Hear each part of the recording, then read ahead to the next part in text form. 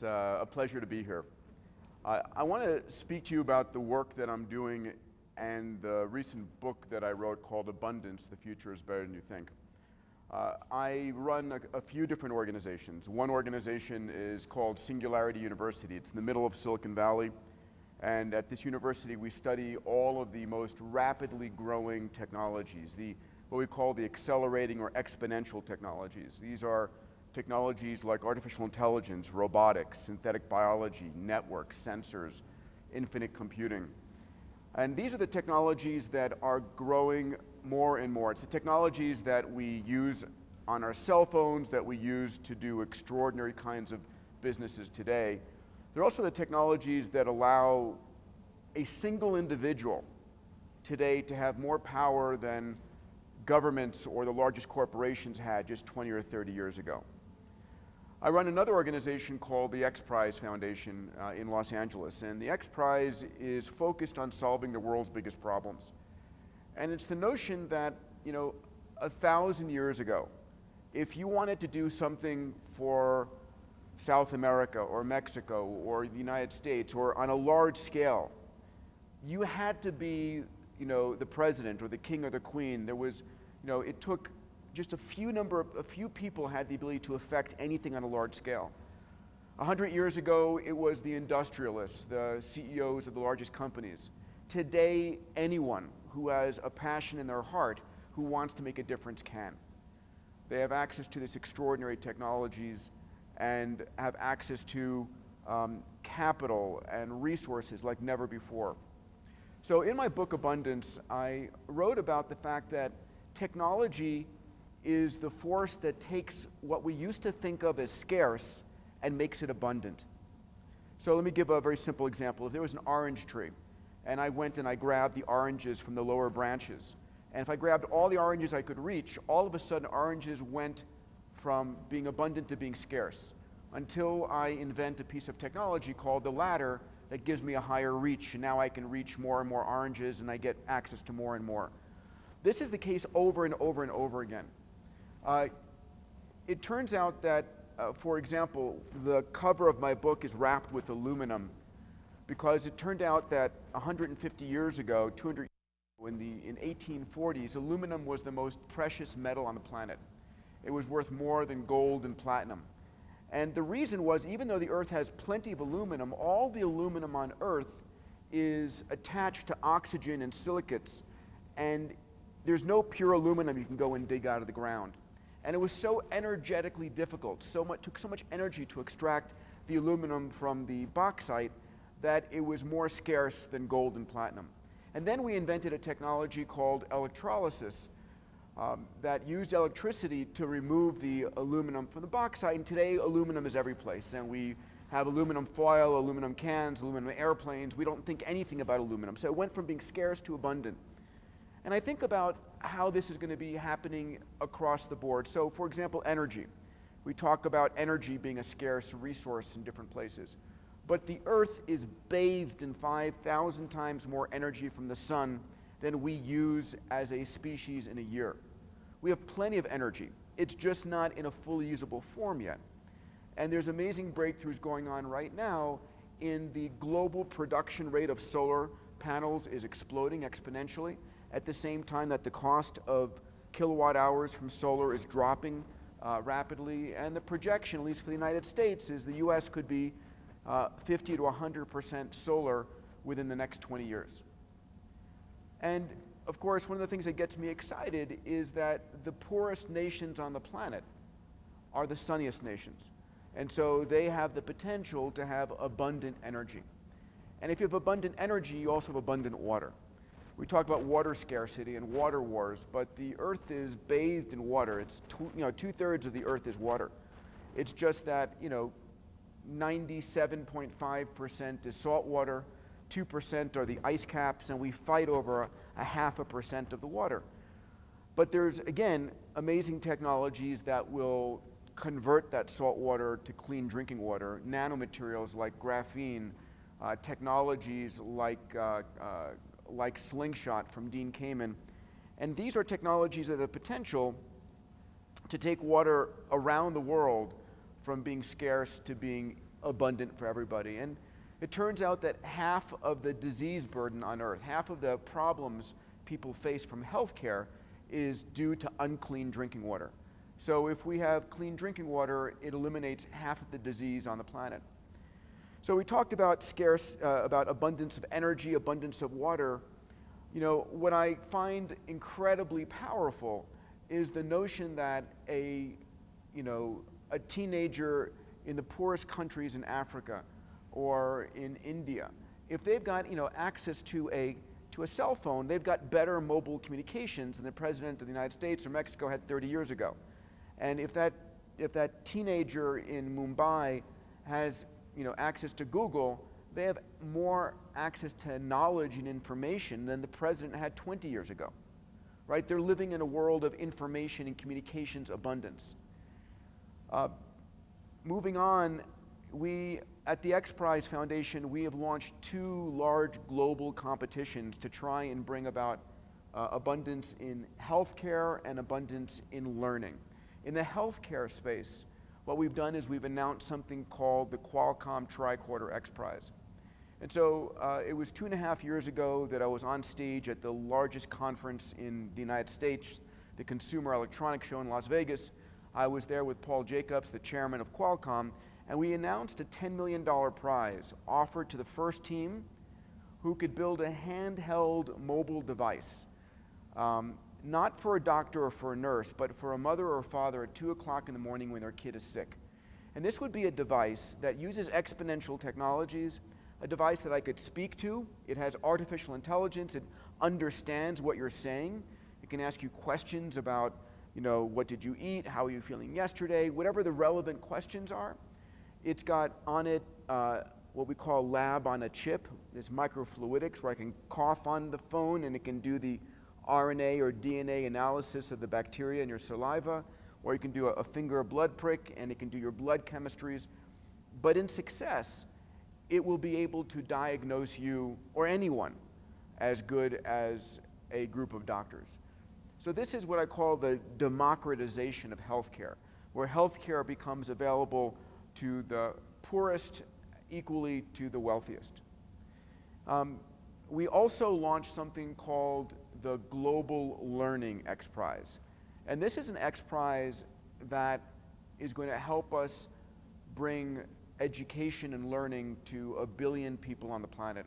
So today on planet Earth, we have nearly a billion people who cannot read or write or do basic math. Of those, two thirds are women, and a quarter of them, 250 million, are kids and they live in parts of the world that we will never, ever build schools or teach enough teachers. We just can't scale physical buildings and people fast enough to do that. So, what we've done is we announced uh, two weeks ago uh, at the United Nations General Assembly and at the Clinton Global Initiative an X Prize for $15 million asking teams to build a piece of software uh, that could operate on any smartphone or tablet that was intelligent enough as a piece of software to understand a child's interests, what sports star, what color, what movie star it likes, understand its language abilities, what it knows and what it doesn't know, and then be able to engage that uh, student enough to be able to take that child, no matter where they are, from illiteracy to reading, writing, and numeracy in 18 months. And so we announced that we expect a winner in the next three years, and then we're going to put that software on every tablet and every phone produced. So that's a quick overview of abundance. Perhaps we can take some questions and answers now. Can you pinpoint or mention three cutting edge trends that are going to be with us in the years to come? Sure. So, in terms of cutting edge trends, one of the biggest right now uh, that is just getting going is the use of the crowd. In other words, it's the ability for a single individual in this hyper connected world to reach out to everyone else who has a common interest. And what does that mean? There's the whole field of crowdfunding. with uh, platforms like Kickstarter and Indiegogo where I can say, you know, I have a new product I want to produce. Anybody wants it, it's 100 bucks. If I get, you know, 10,000 people who want it, I'm going to produce it. And so it's the ability to have the crowd generate uh, advanced revenue. So in 2015, next year, there's going to be $15 billion in crowdfunding. By 2020, that'll grow to $100 billion in crowdfunding. We also have the ability to use the crowd to solve problems. Um, one of the related trends is that we're going from about 2 billion people connected online in 2010 to 5 billion people connected online in 2020. 3 billion new minds are connecting like never before. These represent a huge uh, opportunity for entrepreneurs. So your ability to connect with those entrepreneurs um, and use crowd, the crowd to help you um, is, uh, is very important. Um, I think another big trend is 3D printing. Uh, I'm very involved in 3D printing. We're going to see 3D printing uh, entering every field. It's exploding in the marketplace right now, uh, where you can 3D print with 200 different materials, plastic, rubber, metals, glass, even human cells. And the ability to uh, learn how to manufacture things very differently than the old way.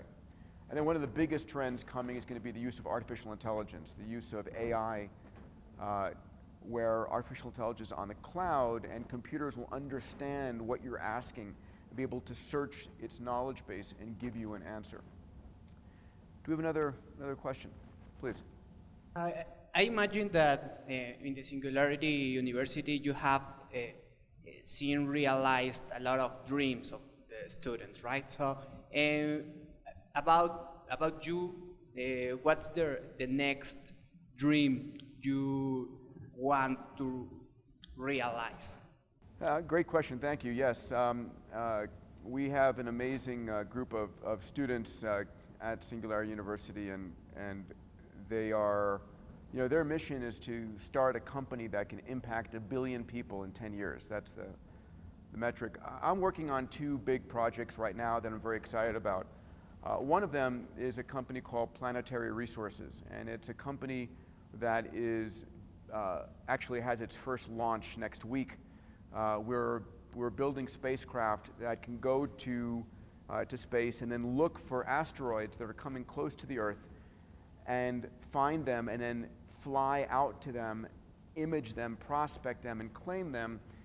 Uh, there are a certain number of asteroids that come very close to the Earth that are very, well, uh, very rich in fuels uh, methane, hydrogen, oxygen in uh, metals, construction metals like nickel, iron, cobalt, and strategic metals like uh, platinum and palladium, iridium, osmium. And the ability to mine those asteroids and extract the materials uh, is another concept of abundance that, you know, if you think materials, platinum is scarce on the earth, perhaps, but it's also abundant in other places. The other company I'm working on, which we announced earlier this year, is a company called Human Longevity Inc., HLI. And our mission is to make 100 years old the new 60. Our goal is to add 30 to 40 healthy years on everybody's life. And we're doing that. We've built the largest genome sequencing facility on the planet, uh, and we're using stem cells now. And the notion is that we have the ability to understand why some people live longer than others, why some get cancer and some do not, why some get cardiovascular disease and others do not, why some get Alzheimer's or neurodegenerative diseases and others do not. And then to begin to, all of that is in your genome, all of that is in your genetic code, and understanding that, the big data play, if you would, of our goal is to sequence millions of people and get enough information and data that we're able to really fundamentally understand that. So just time for maybe one more question. Um, all right then, well, uh, we, okay, we have one question here. Yes, please. How do you envision the world in 10, 20 years? That's a great question to close out on, thank you.